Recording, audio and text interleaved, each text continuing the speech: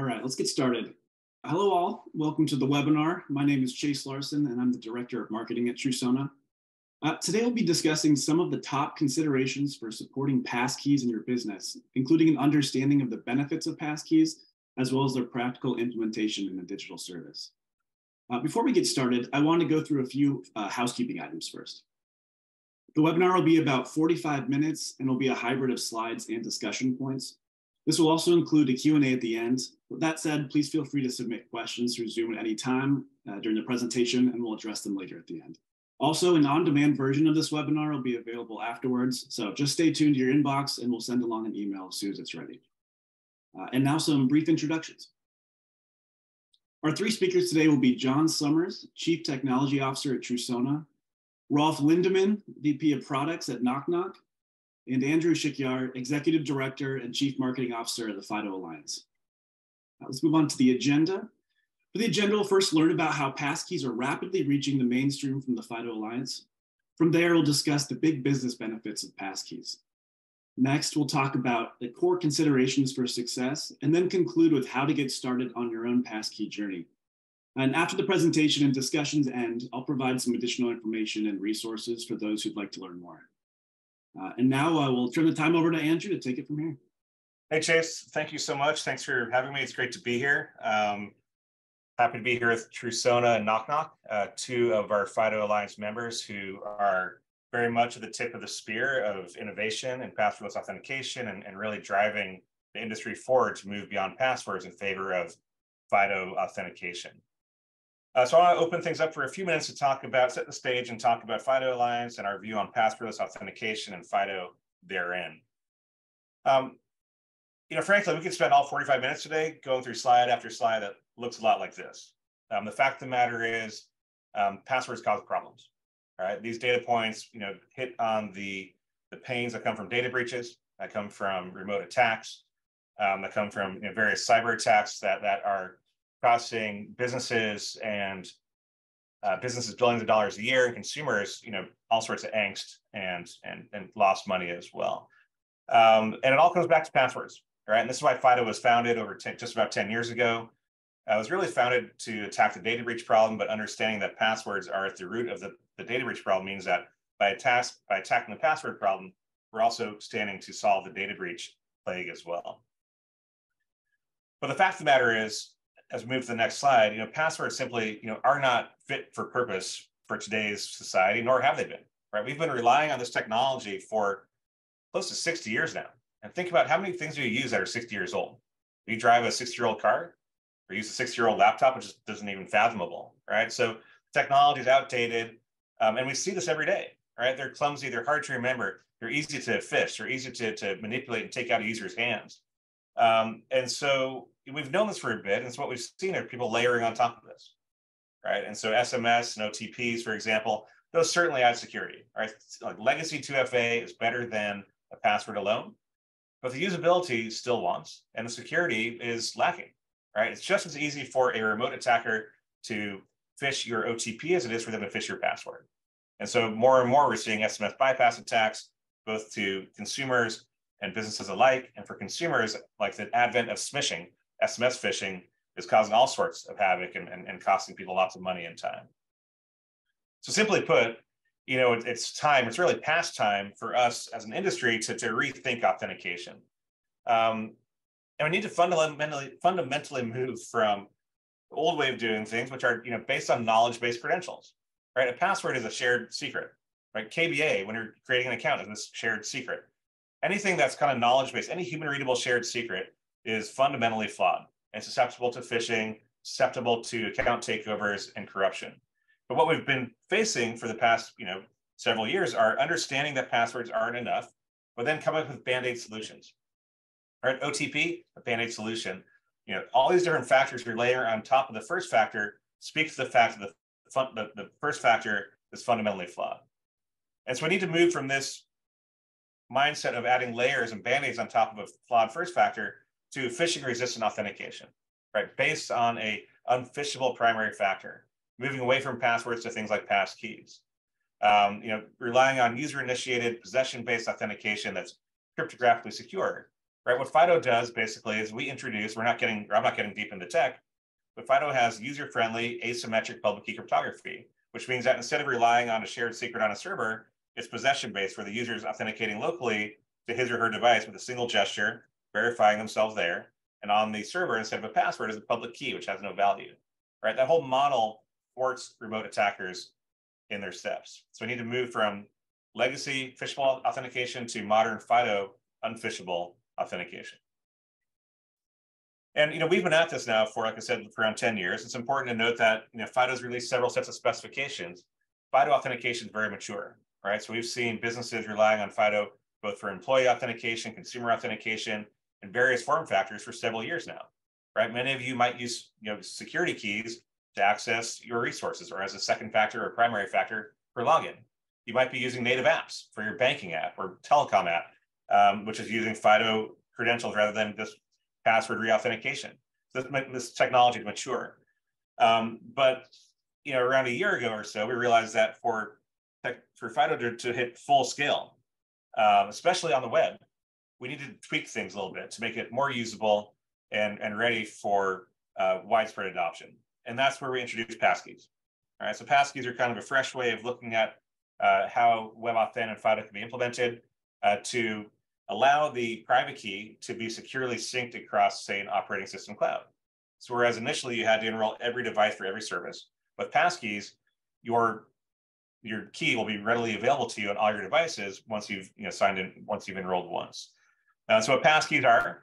Passkeys are a lot of things. First of all, passkey is a term, a brand now that we're using uh, to describe any sort of passwordless FIDO sign-in. Right? We were lacking that as an industry before. People never would talk about FIDO, or they, would say you know describe it different ways. You know, passkeys is, is a term again for any passwordless FIDO credential. Um, but ultimately, it's also uh, a way to uh, allow consumers uh, to, to sign in passwordless across all their devices. It can also be bound to a single device, like such like, like in a FIDO security key, uh, but it really stands to revolutionize the way that people are deploying FIDO authentication at scale. So some of the benefits we're seeing with passkeys um, are in three key areas. You know, one's around user experience. Uh, first of all, it'll provide a more consistent user experience across all their devices. Um, you know, the way WebAuthn and FIDO has always worked is it's a single single gesture authentication. Uh, but now this will be you know, codified further through you know, integration with operating systems, with browsers and such. Um, so the user experience is much better.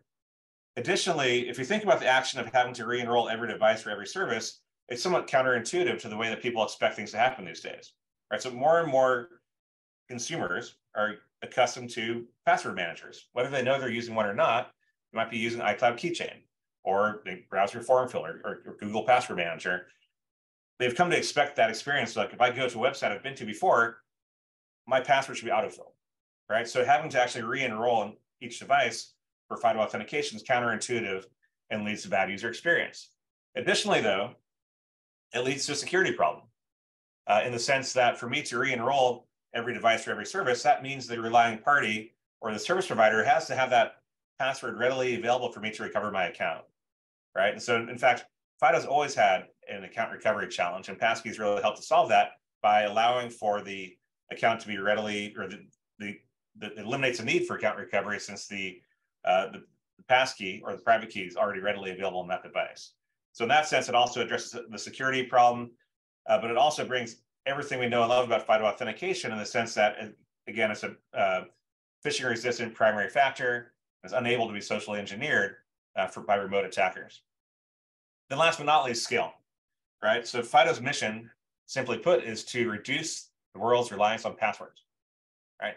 So passkeys stand to take the vast majority of, uh, to address the vast majority of consumer use cases immediately and take passwords out of play for hundreds of millions of consumers over the next couple of years uh, by being a very scalable and deployment ready solution.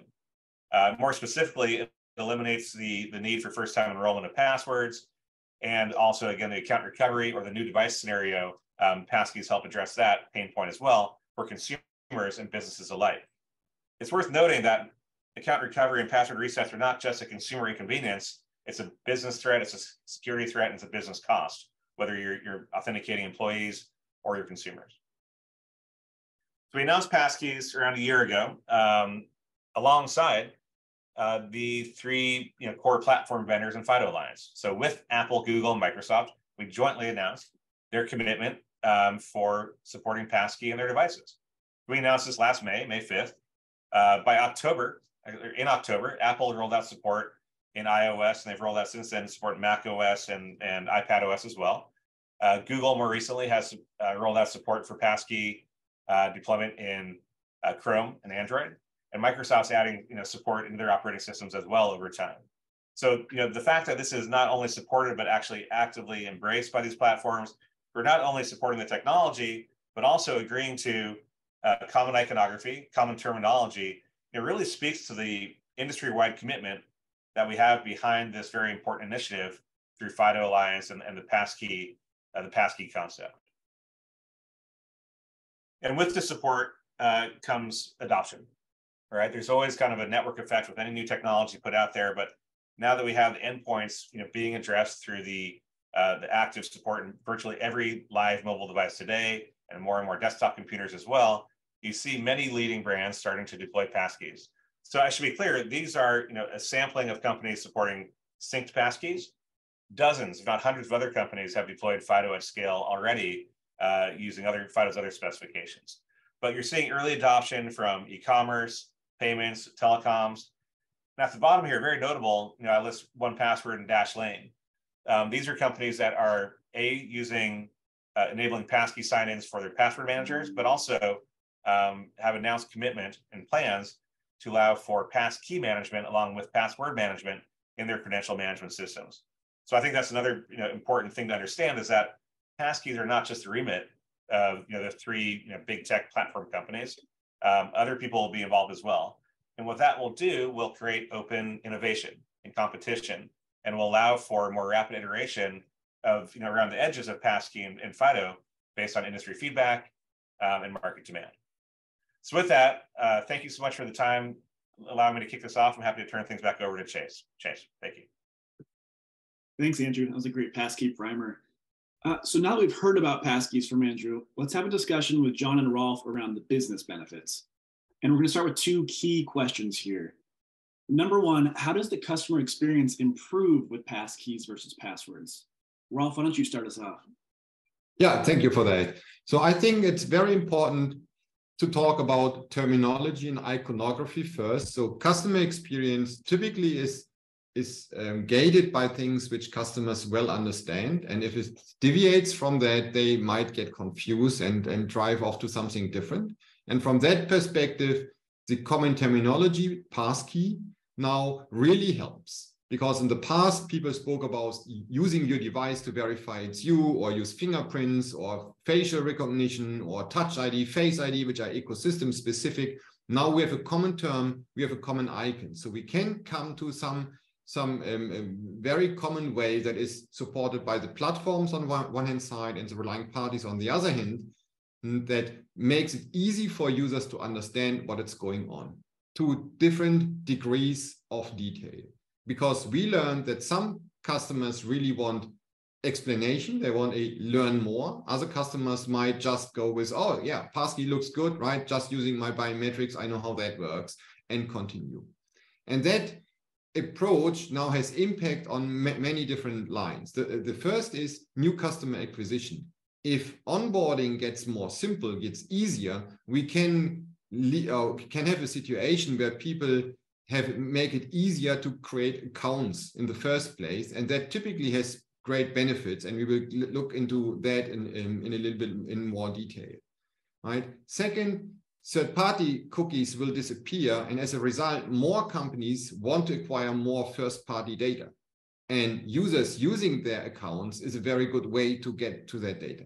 The second one is increased revenue per customer. And so once the, the front door to your services, which really the authentication is, is more convenient, looks more inviting uh, to the user, the users will use it more often and are more pleased to use it as opposed to frustrated potentially if uh, authentication doesn't work.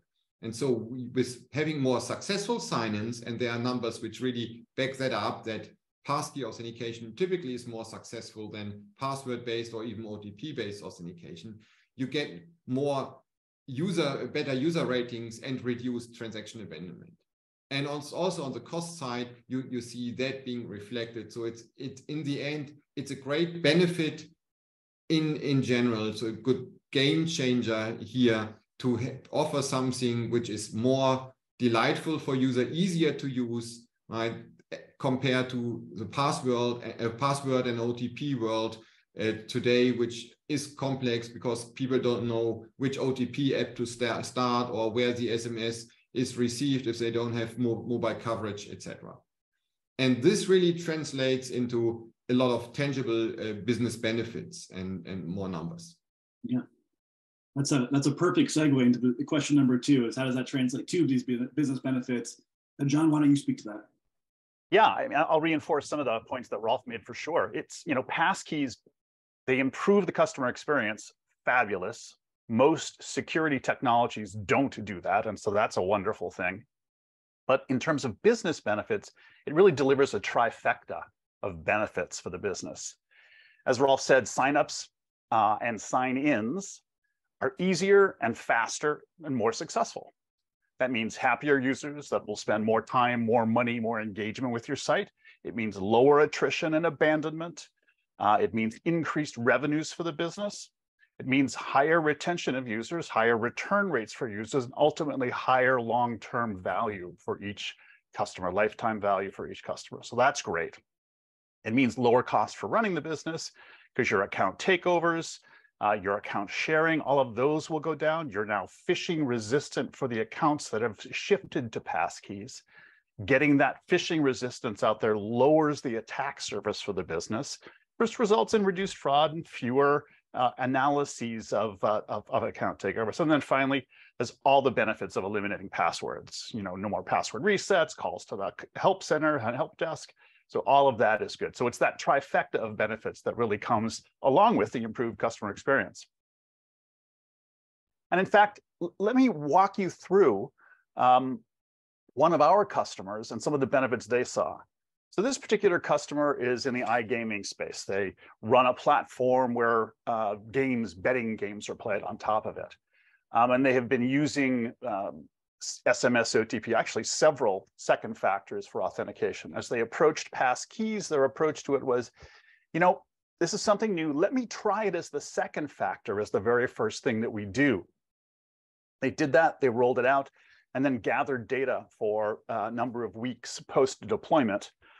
And to surprisingly, passkeys immediately jumped up to being the most popular second factor service that they were using. And you see that listed to the right on the slide there.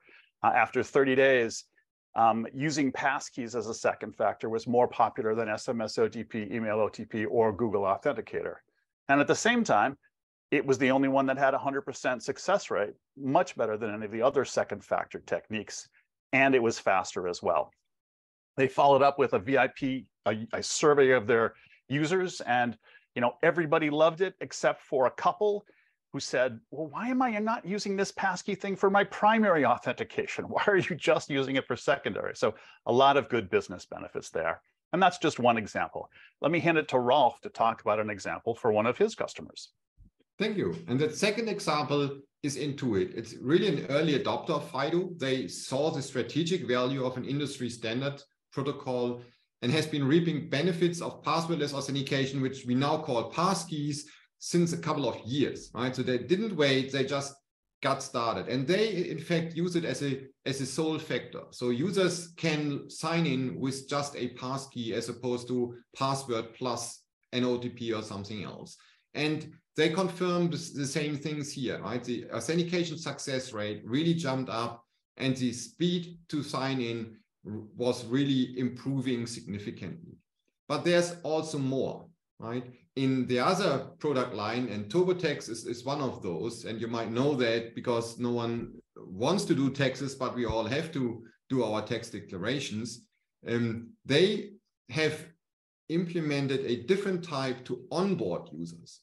As opposed to asking users for a new password when they sign up, they don't do that anymore. They just ask for an email address the phone number, and then ask you to register a passkey. And with that, they could increase the onboarding success rate or the sign up conversion by 10%. And this is really a huge thing because if you are in that business, you typically know that just moving the needle by a single percent point is really hard to do. And now getting so many more um, benefits out of that was, was a great success for their deployment. On top of that, they could see a 50% reduction in onboarding time, which may, again is a nice business value because now customers are delighted as opposed to being frustrated before they even start the tax declaration. They start with a nice experience and everything becomes easier for, for the user. And that, that has great business impact and also user satisfaction impact. And now they are eliminating passwords in even the in, um, uh, QuickBooks and other products um, um, that they have. And so overall, a phased approach in which they are really reaping the benefits of passwordless passkey-based authentication uh, rolled out in phases across multiple of their product lines and seeing the success and tracking the success.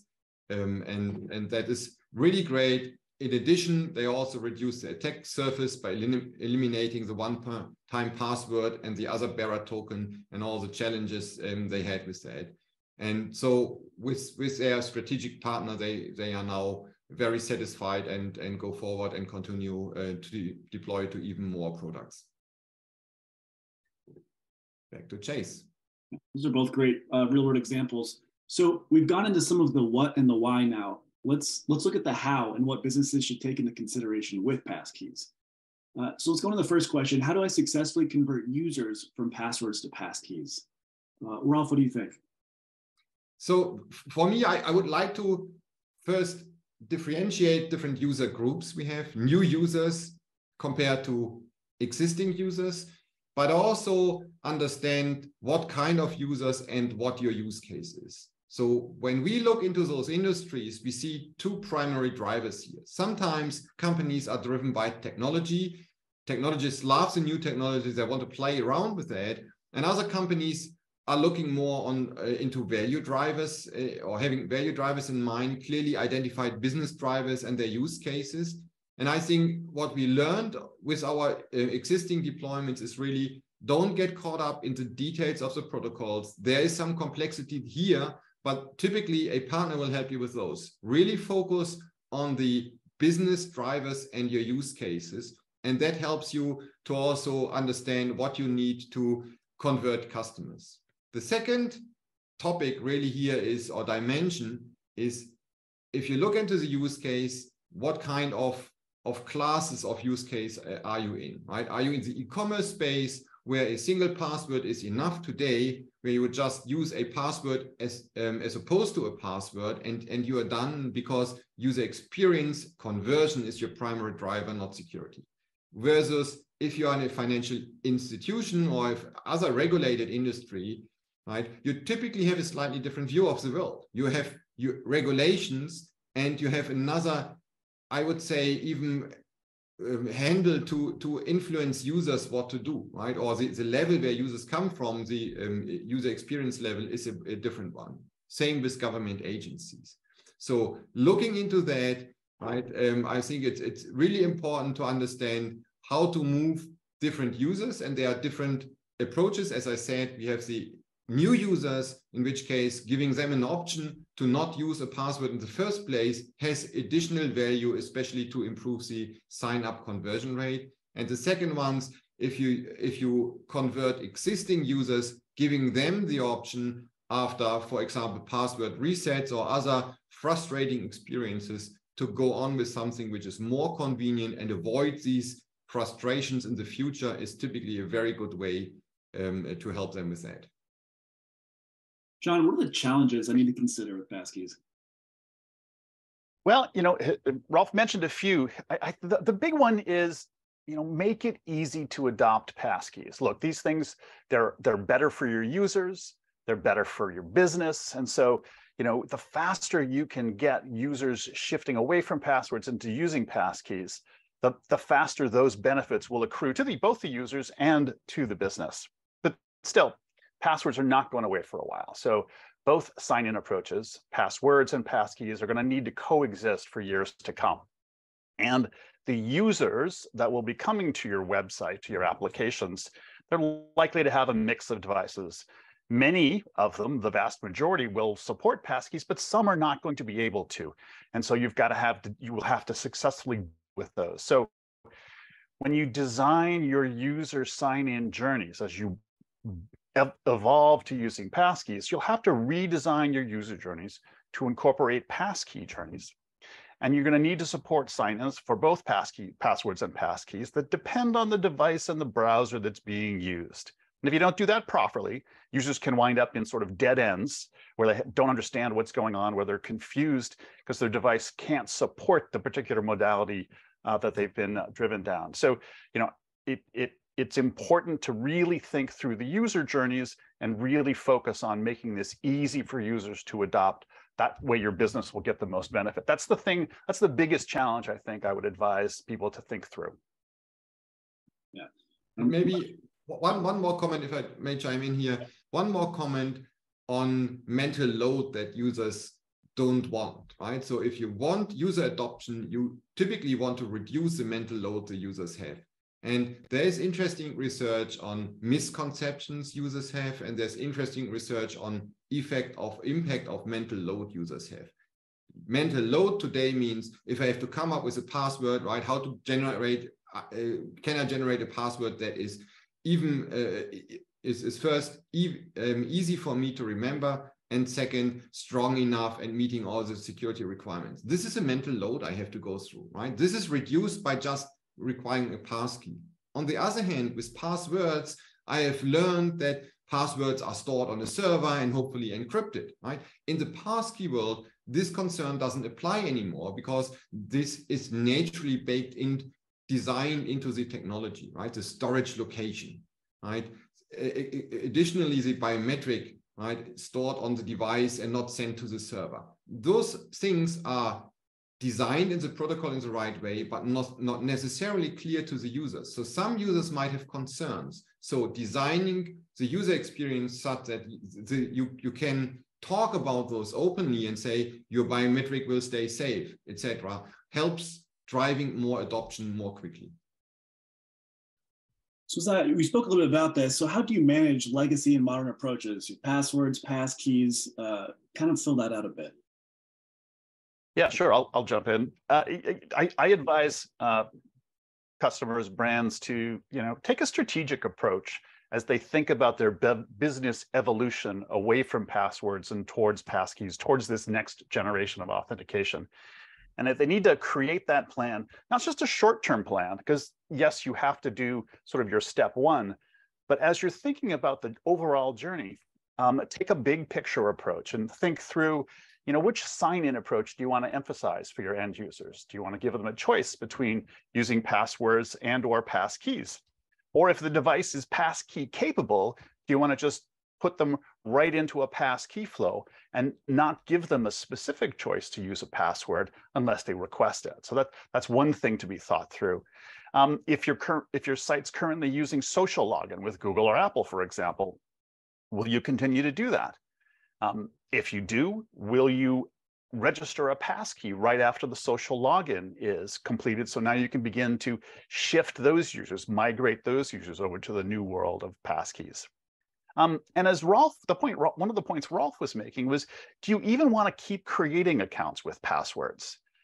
Creating an account with a passkey is a tap and go experience. It's much easier. It's a lower cognitive load, as Rolf said. Um, you know, one of the brands that we've interacted with is focused exactly on that account creation process. They have um, their, their first uh, business objective is to improve their conversion rate, the account creation conversion rate, so a greater percentage of users that start the account creation process get through. So they're really focused on that sign up experience and focus there, and they're going to focus on the sign in experience later. So that's a strategic consideration you should think through. Um, and then will you migrate, migrate your mobile app to using passkeys as well? so that you can using it across both sites, websites, as well as your mobile apps. There's, there's so building that more strategic plan to think through some of those key issues in the journey over time is one of the one of the pieces of counsel I have for brands. Back to you, Chase. And, and maybe one more consideration from the security side. So what we often hear is, again, e-commerce vendors, for them, security is not the primary driver. User convenience is. For regulated industries, it's typically the opposite way, right? Regulatory compliance is, is key, and they have to avoid, um, follow the, the, regulations in, in, in, their region. Now, those industries are typically re regulated to implement a very strong device binding, which they in some way don't get with a syn synchronizable passkey. So they want to augment the passkey with something which gives them strong device binding. Those technologies exist, for example, the DPK, DPK on Android devices, but they also um, exist in, in other FIDO technologies. So you can use other FIDO authenticators. There's other FIDO protocols which give you that um, a very unique device bind. You can add those things in addition, which is not visible to the user, but helps you to meet all your regulatory requirements. So this is a, a good situation for you, right? To use the passkey um, to make everything easier, more convenient to users, but still add something on, on top of that, just behind the scenes to get the strong device binding in addition. Great. Rolf, you mentioned uh, earlier thinking through and designing a passkey journey. What does a passkey journey look like? So what we have seen is that most companies really want to start with a business driver, may, meaning setting a strategic direction, right? So not starting with, oh, let's play with some technology and see what we can do, typically very tactical and doesn't give you the, the full benefits. But understanding all the, the value you can get off out of that is a very good start, starting point. The second thing typically means aligning stakeholders. And part of the stakeholders are the security departments in your organization, right? It's also the user experience people which need to get on board, right? It has an impact on the user experience. You're replacing or augmenting a password with something else.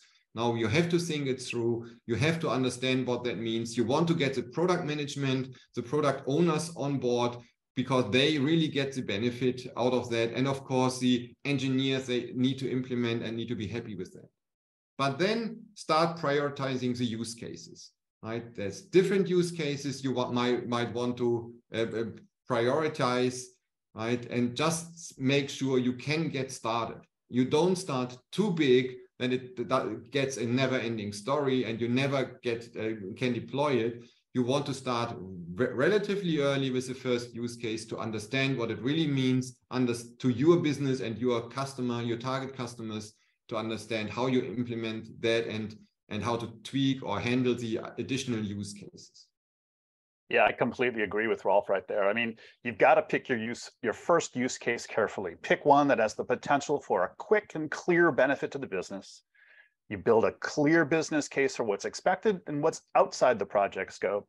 And that allows you to show success and build momentum for the larger projects in the later phases of your journey. And, and as Rolf said, you know, spend the time to get the user journeys right, including UX testing. If, if the customer experience is poor, user's not going to adopt, and the business benefits won't appear. So it, as you really do need to get your user experience team involved early on. And if you don't have the user experience talent that you need, you know, go find that skill set out there in the marketplace because that will really help you get get those new journeys defined in a manner that's pleasing, good customer experience, and then all those security and business benefit outcomes will accrue to your business. And maybe one more addition here. What we have seen, whenever there's something new, if you try to do that the first time on your own, right, the risk that you fail and have a longer, slower learning cycle is very high use partners which have done that a couple of times. They have learned what is important to make it a successful thing, right? Doing it jointly together with partners typically ma makes it much quicker and a, a, much safer journey for you, right? Which, which must much higher likelihood to succeed. All right. Thank you, John and Rolf, for that really helpful discussion. Next, we'll answer some questions. And again, feel free to ask any last, last questions via Zoom as we go through these. We'll be answering them all live. Um, let's start. Uh, first off, uh, this question was asked, uh, Andrew, during your presentation, so I'll, I'll, address this to you. Uh, am I right in understanding that passkeys, as described here in this presentation, are not suitable for highly regulated bodies such as financial, financial institutions and enterprise passkeys are needed for these organizations instead? Uh, I, would, I would disagree with that. Um, so I think that what a lot of enterprises or, or um, kind of highly regulated scenarios are looking at are ways, you know, if, if you need to have, like Rolf was talking about before, like that device binding, there's other ways to achieve that right? So the sync key does not achieve that, um, but you can certainly do a couple things. One, yeah, you can use device bound passkeys, right? Or I think that's what you're referring to as enterprise passkeys. Um, so that's one way of going about but using a security key, just as you've been using security keys for years. Or there's other ways to um, you know do device binding or, or add a add a layer on top of that primary passkey factor. But it's certainly uh, just to be clear, you know, passkeys are ready for the enterprise um, for, for employee authentication. And, and we have, you know, one nice thing about FIDO Alliance, we're seeing great collaboration here today between Trusona and Nok Nok in our working bodies, in our working groups. Everyone's deeply committed to seeing passkeys through and FIDO through. We have an enterprise deployment working group where people talk about these scenarios yeah. um, and exactly this question. And we're working on a series of papers that we'll be publishing in the next couple of months, talking about how to deploy passkeys in enterprise, you know, how to address some of these concerns that, that some may have uh, that come with a synced uh, synced passkey. Yeah, there are some great papers in process, and so I encourage the audience to you know look at at FIDOAlliance.org and watch for those things as they come out over the next several months. They'll be great. But look, passkeys are better than passwords. Full stop. If all you did as an enterprise was to replace your passwords with passkeys, that phishing resistance that accrues to your account is going to dramatically improve. Uh, it's reducing your attack surface and, and reducing your exposure to those attacks. Do you still have to do additional things over and above passkeys? Sure, but you do that today with passwords anyway. So it, it's there are more than passkeys that are needed, but it just adopting passkeys is a huge big step forward for everybody, and that's why we're all so excited about the the rollout. And, and remember, passkeys are not a single technology. It's rather a class of technologies. So synchronizable passkeys or sync passkeys on one hand side, device-bound passkeys on the other hand side.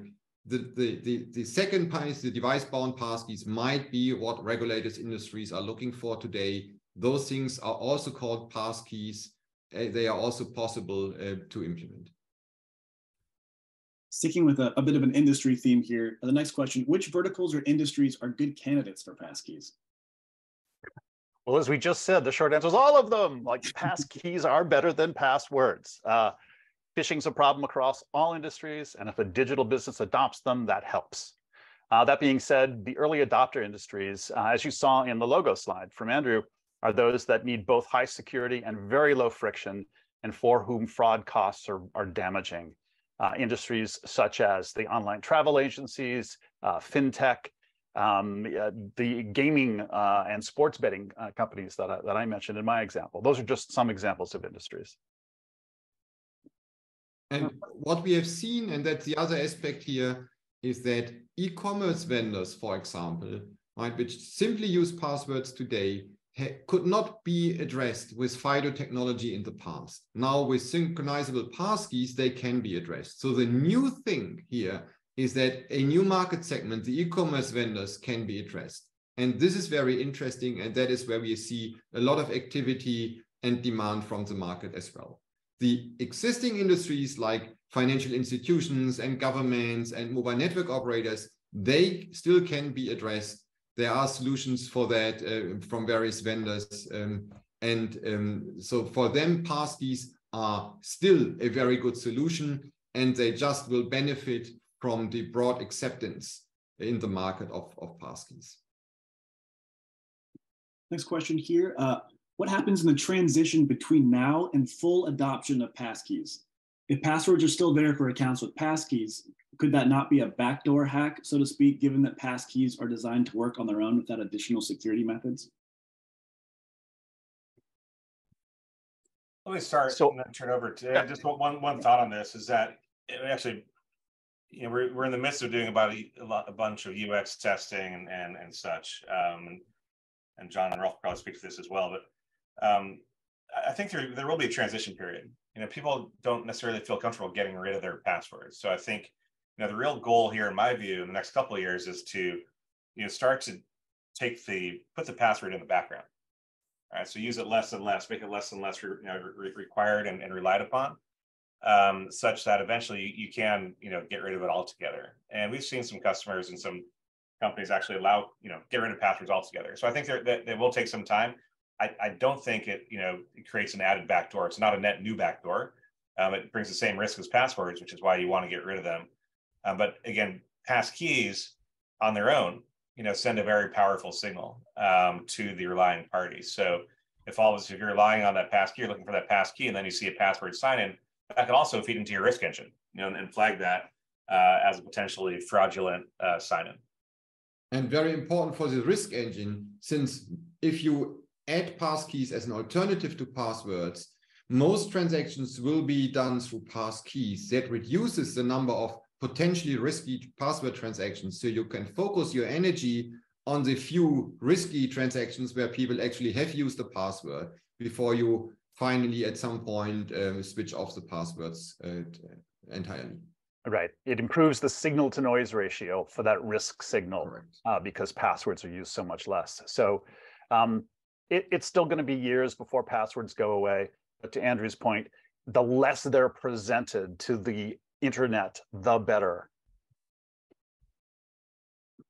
Okay. And next question here. What happens if devices are lost and are using device-bound passkeys? Is that device-bound passkey, not multi-device, unrecoverable?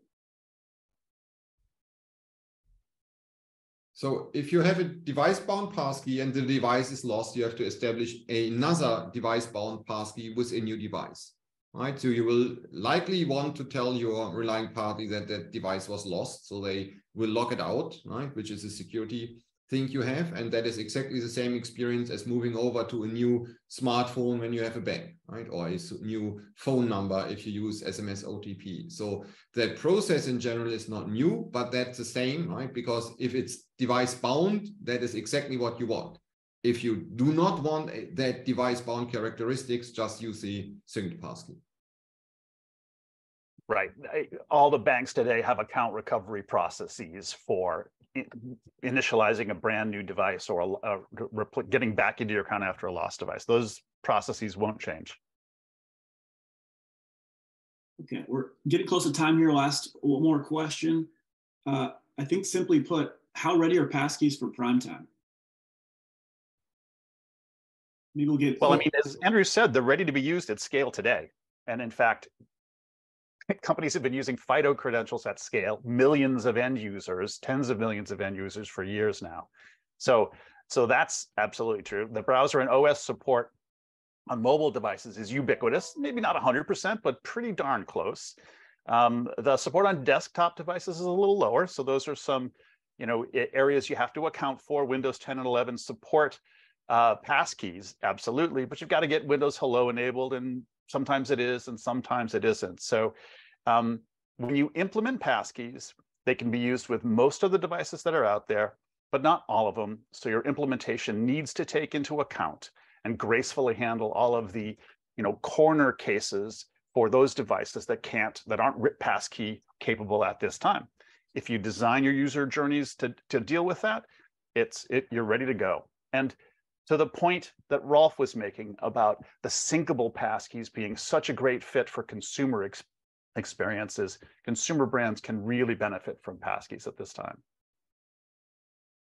Yeah, I'd, I'd agree with John wholeheartedly, of course. Um, but I would also note that it is you know, relatively you know new in market. I mean, sync, speaking specific uh, specifically to sync passkeys, it's, it is a newer concept. Um, and like I said before, it will iterate, right? So there's no doubt where we're going to get to, which is you know super usable, super ubiquitous, you know, uh, you know, passkey signings instead of passwords.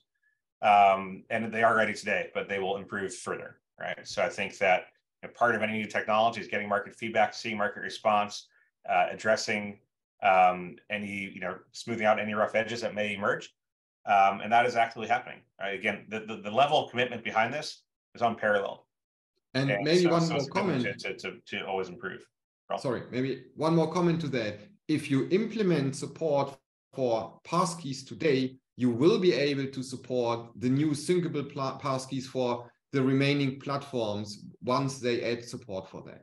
So it is not that you have to rip out the technology and put another technology in. It's just you will be ready. You can start with your ecosystems where passkeys are supported, syncable passkeys are supported. They they are supported in in the device bound or uh, device bound way, but the syncable ones, right? The technology on the server side, if you implement it, will support them all. That makes it easy to start deploying now.